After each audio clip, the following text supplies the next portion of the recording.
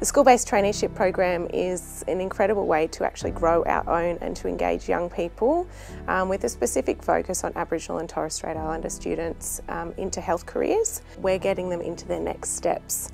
Um, so having these young people knowing that they've got work after school through this program, um, that they're qualified in something which is incredible because in year 12 you don't, you know, you get your ATAR, but these guys are industry ready and qualified and working already well above their peers. So the program in Murrumbidgee has been extremely successful. Our students aren't going away to study, they're not going to go, uh, go away to work or they're not going to go away um, to pursue a career elsewhere other than the healthcare industry in their local towns.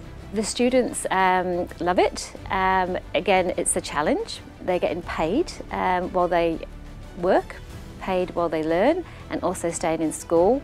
And a lot of the feedback they share is that they're now amongst adults and away from the school environment. So they're learning not only adulting skills, but also the clinical skills on the job as well.